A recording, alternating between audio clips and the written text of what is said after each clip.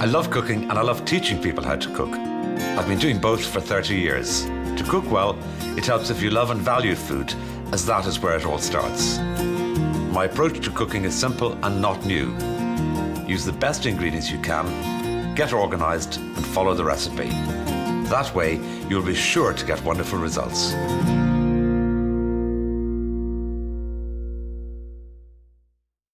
Preparing beetroot doesn't need to be a time consuming chore, and believe it or not, it is utterly delicious eaten raw. For this salad, we simply peel it, grate it, dress it, and then eat it.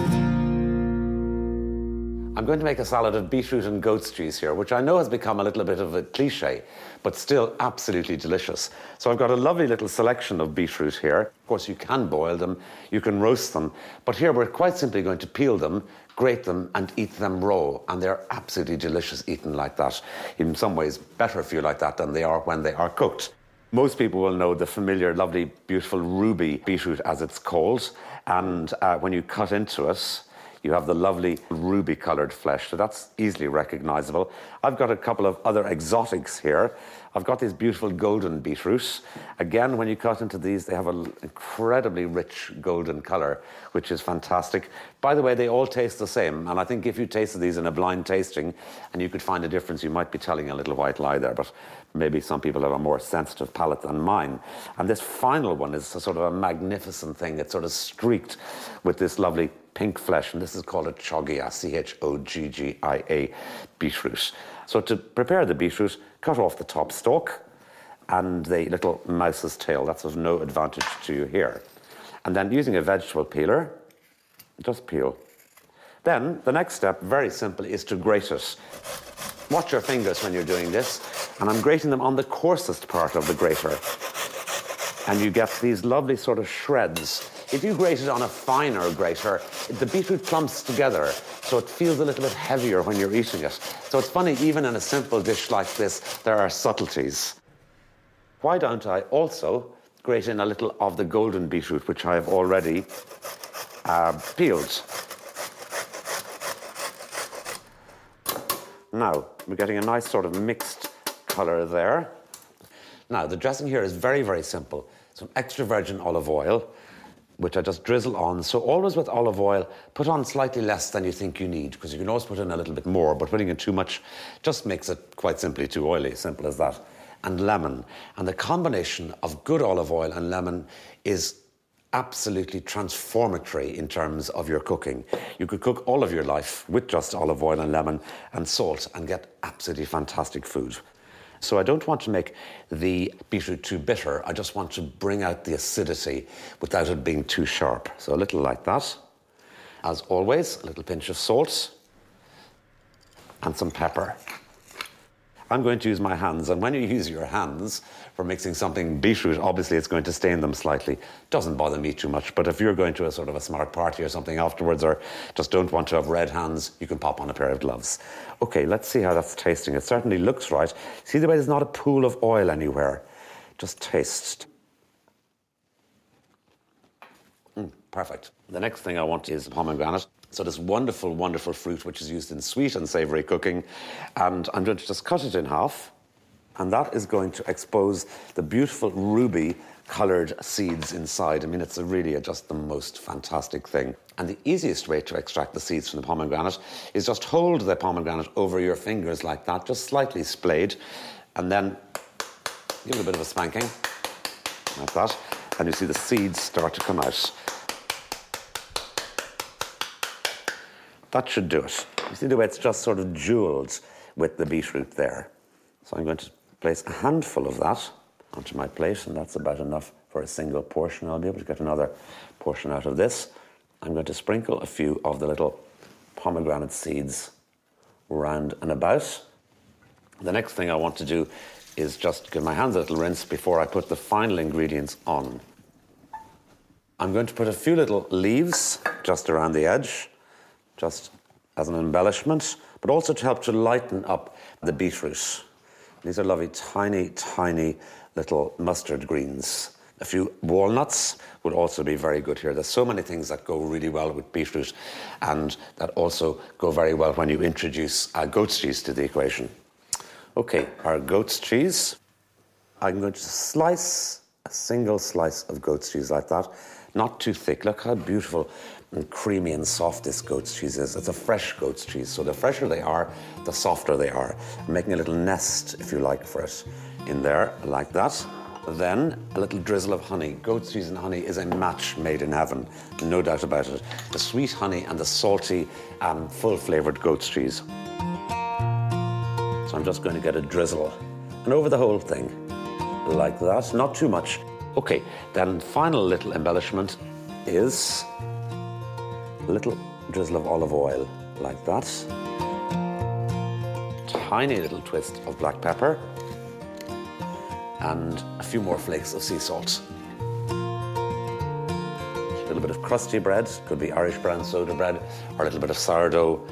Just very simple and delicious. This is really good, simple, fast food.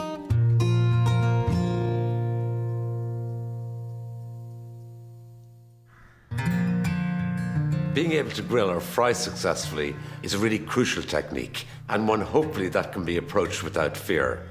Regardless of what you're grilling, there are rules and guidelines, and these will help you to get perfect results. And the T-bone steak we're using in our main course allows me to put those rules into practice. Alongside the fabulous steak, what could be nicer than chips? I'm also going to serve the steak with a salsa verde, and this taste of the Mediterranean alongside the fabulous Irish beef and potatoes, wonderful. We're going to grill a steak next. A fabulous T-bone steak with a little of the sirloin and the fillet. You've got sort of best of both worlds. So we'll talk a little bit more about this really fabulous piece of meat in a moment. But before we do that, I'm going to get some potatoes on to cook. Because with a grilled steak, I think most people will agree chips or a potato of some description is really one of the perfect accompaniments. So I'm going to make oven roast chips. So I'm just simply going to cut them into wedges and I'm cutting them specifically into wedges like that, so they'll all sit with the skin side down. That's going to give me a crispier skin.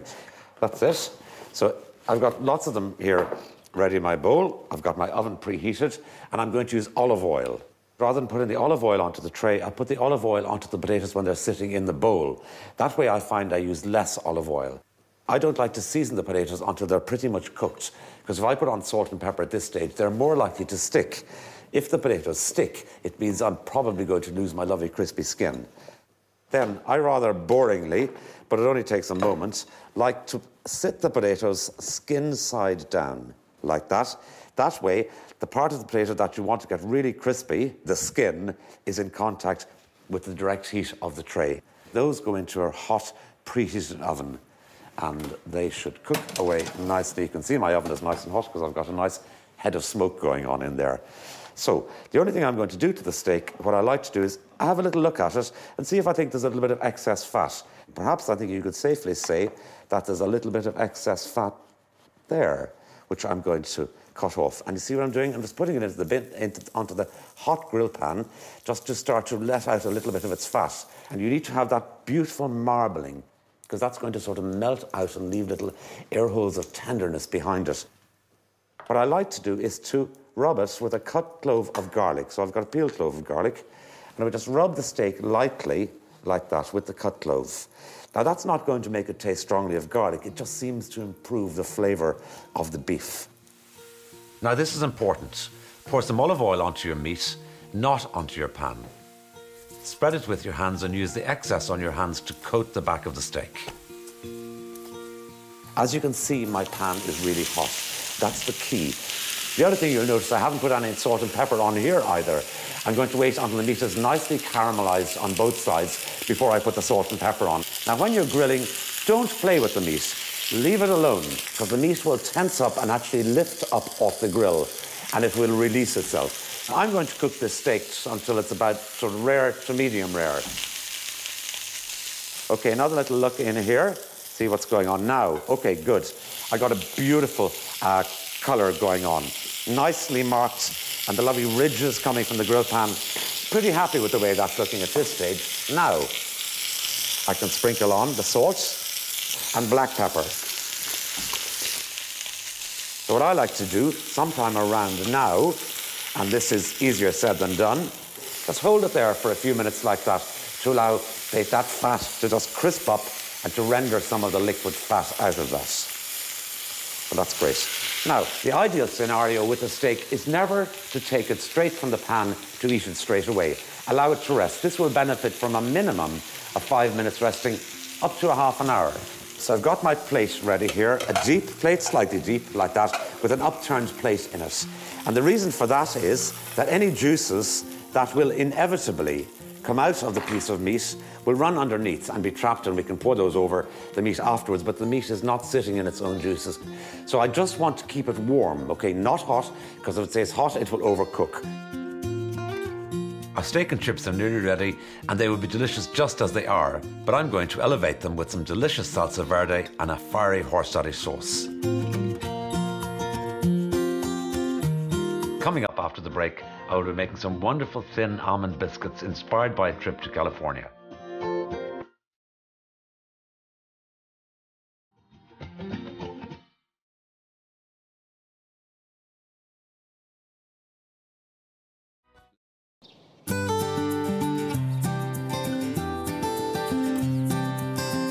Before the break, I prepared some potato wedges which are cooking away nicely in the oven. Then I cooked my steak just the way I like it and set it aside to rest. Now I'm going to make the two sauces that I'm going to serve with the steak. Salsa verde literally means green sauce. It's a combination of herbs and leaves, and today I'll be using some rocket, flat parsley, mint, and tarragon. I find that the mint and the tarragon give a slightly perfumed flavour to the salsa.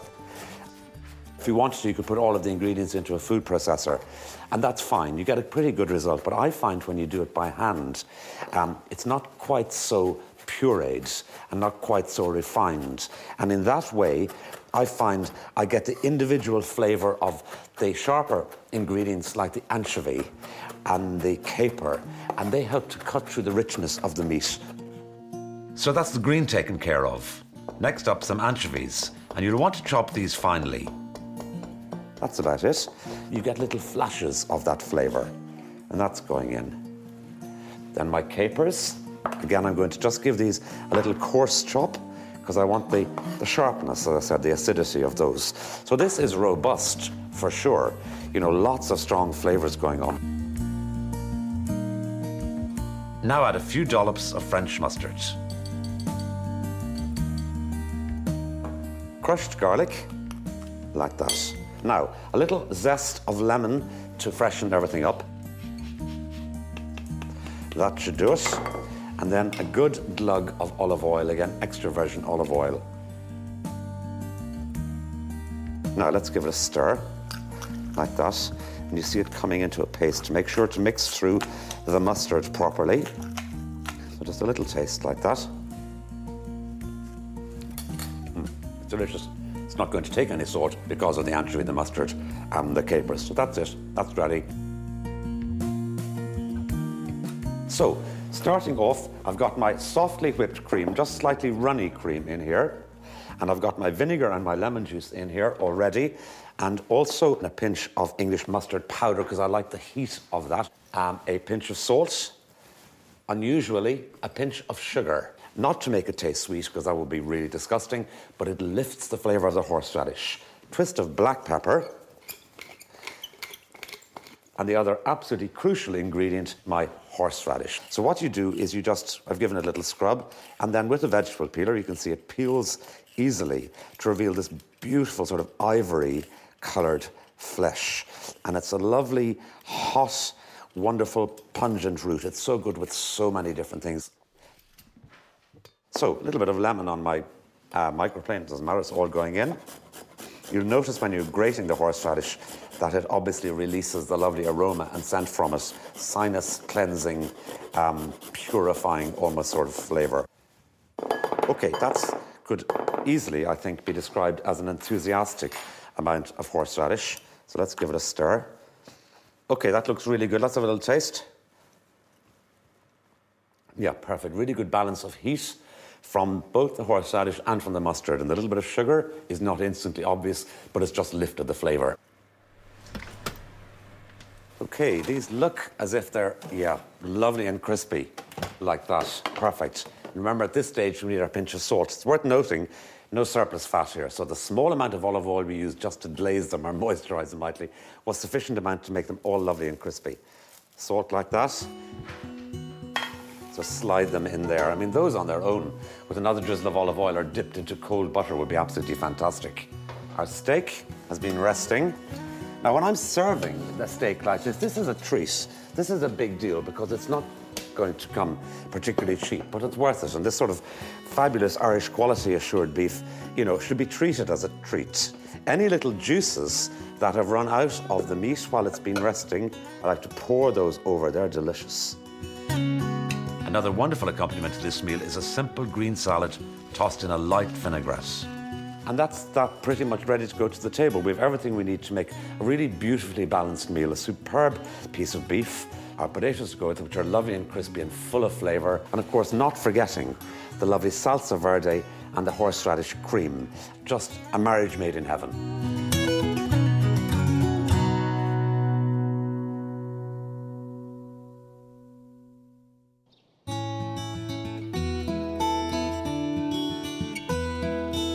When I worked as a chef, I was lucky enough to spend time in the kitchens of Chez Panisse in California, presided over for more than 40 years by one of America's most inspirational chefs, Alice Waters. And it was there that I learned how to make this biscuit, which I'm going to show you now.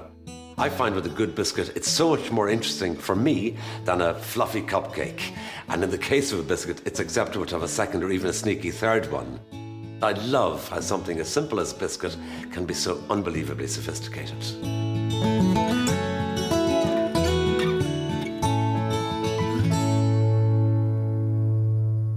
The recipe is very straightforward. I've got some water and some butter in my saucepan here, which I'm going to melt. And the predominant flavour in this particular biscuit is cinnamon. So I'm going to pop that in there. So we're going to heat this just to melt the butter and the water, and this is going to bind our dry ingredients together. So cook it on a lowish heat because what you don't want this to do is to boil really because you don't want to boil the butter and you certainly don't want to evaporate the liquid because then your proportion of liquid to dry ingredients will be somewhat different. So let's get this on.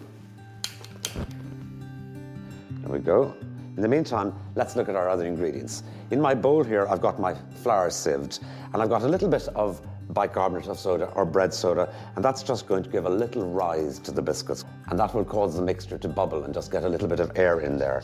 Again, with bread soda or bicarbonate soda, I pretty much always like to pass it through a sieve to be sure that there are no lumps. And then just give that a stir around. So that's ready there. I've got some flaked almonds. Do have them fairly finely chopped or sliced and you'll see the reason for that a little bit later on. And the other ingredient then is some uh, soft brown sugar like that. Okay, that's ready. The butter is melted and the cinnamon is mixed through nicely. Perfect. Now, turn off the heat. So add in the sugar into the liquid ingredients. Stir in the sugar until it's completely dissolved. Once you've achieved this treacly texture, pour your mixture into the flour. Then our flaked almonds. Then mix it all together. And it should come into a thickish sort of mixture. So you have to just work a little bit hard at this stage. That's looking sort of exactly as I'd expect it to look. Okay, that's it. That's the consistency, thick like that. So I'm now ready to form that into my rectangle. So parchment paper, parchment is great because you're pretty much guaranteed it's not going to stick. So I like to sort of form it into a rectangle. You can make these whatever size you want. So that's enough to get me going with one slab. And then I just flatten it out like that. Not a thing of beauty at this stage, that's for sure, but don't worry, all will be revealed. And then just push it to make the shape more formal, right into the edge, like that. So we've got what one could vaguely call a rectangle there, and then just wrap it. And again, sort of compacting it as I go. So fold up the ends, getting it neat, like that. And then this is going to go into the freezer until it's completely frozen. My biscuit mixture is frozen, as you can hear clearly from the sound it makes. So just unwrap the parchment. Again, the joy of the parchment is that it's not going to stick. So what we're going to do is to cut thin sticks, if you like, of the mixture. And what I like to do then is to leave a little space between them because they do expand slightly. So you've got these little thin, sliced, slivered almonds just flecked through the biscuit and then flavored with the cinnamon. It's a really good combination of flavors. The problem about these is once you have one, you want another one and possibly another one again after that. But it's a really, really convenient thing. Okay, that's it. They are ready to go into the oven. So I've preheated my oven, which is so important for any of these things. I'm going to pop that in and they'll cook in about 10 minutes. Okay, I think my biscuits must be nearly cooked. Let's have a look. Right. Okay, perfect. So they've caramelized lightly and sort of crisped up. And even if you touch them, they're still a little bit soft. So what I like to do at this stage is to slide them, and this is not as difficult as you'd think, to slide them in one go off the tray, still attached to the paper. You could, of course, serve these on their own. As I said, the primary purpose of a biscuit, generally speaking, is to have it with a cup of tea or coffee, something like that. But I'm serving the biscuits really as dessert in this particular meal. And I'm going to combine them with some lovely ripe pears. With pears, you need to think a couple of days ahead. So buy the pears two or three days ahead. Keep them on your kitchen counter so they ripen up nicely. I also have a little bit of cheese here that I'm going to serve with this to sort of complete the trio. And this is a beautiful cow's milk cheese called Coolea, which comes from West Cork. And this is a matured one. And the nutty caramel almost flavour of the cheese, it sounds like a strange thing to say in terms of a flavour of a cheese, that will pair brilliantly with the pears, if you'll forgive the pun, and also with the biscuits. Right, I'm going to put my biscuits onto this little glass sort of bonbon dish. It also has a glass cover, which you might think is completely over the top, but there's something about lifting the dome on, off, off a dish that makes everything sort of special.